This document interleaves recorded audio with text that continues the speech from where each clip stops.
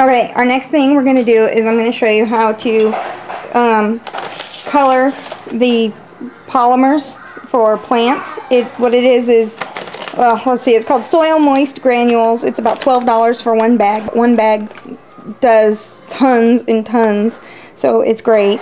Uh, what it does is it absorbs and releases water in soil. And um, this is what we're gonna, I'm going to show you how to do it um, you take some of the dry crystals. I guess I gotta show you those. Take some of the dry crystals, and they're just white crystals. You see that? And they're dry and they're little tiny things. Kind of like sea salt almost. They're big, or little like, you know, big salt.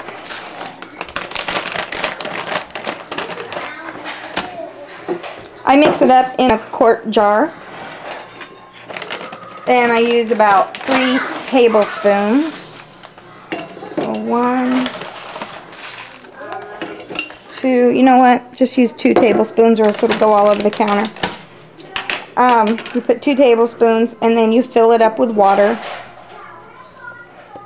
You'll want to leave a little space at the top so that way the crystals don't over, you know, grow too big. And then you can take any regular food coloring, um, any color at all, and you pour it in the water. Can you hold on a minute, Mom, sweetie? Some look like hot potato. I'll be there in a minute.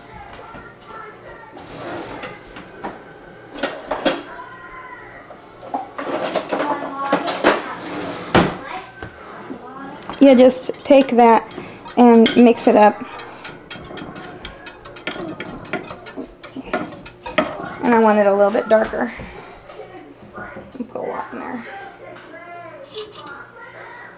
So I want it nice and dark red.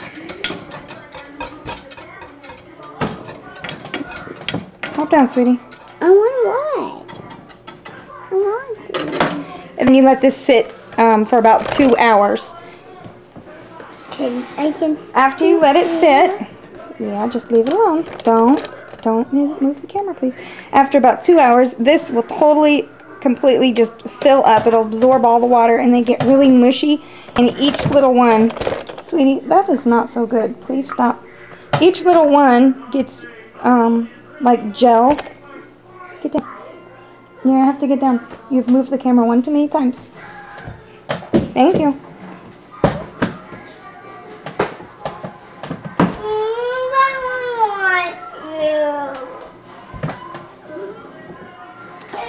Can store it with the lid on. Uh, you just get it in, you know, any lid and you can store it. Or if you, if they, if you leave it open and they get dried out, then you just put more water in. They go right back to being perfect. And what, uh, something you can do, Catherine, please stop. Um, you can put it, you can put this stuff in a vase and then you can put your flowers in it and you can put um, live flowers in it or fake ones and it holds holds the things in place. It keeps them from like falling over. So it's great to use on um, real flowers if you want them perfectly you know high up there and all. And then I just leave this in my windowsill in the kitchen and when I see that it dries out on top I just pour a little more water in. And um, it just it it's kind of solid. You just can use it over and over forever I think I don't really know how long you can just use it over and over. Well, it's only been about 20 minutes, but it's already uh, pretty well perfectly um, absorbed in there.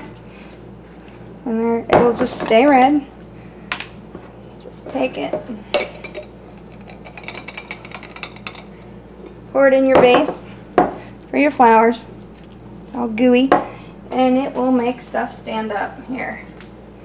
I have a paintbrush for you. Just stand straight up and that way it doesn't fall over. It'll hold it at angles and it's really pretty um, when you're decorating first on your uh, centerpiece. It's really cool. So that's all there is. All there is to it.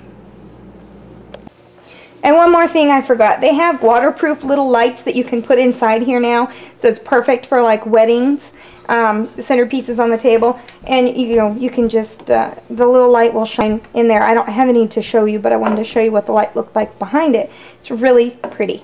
So there you go.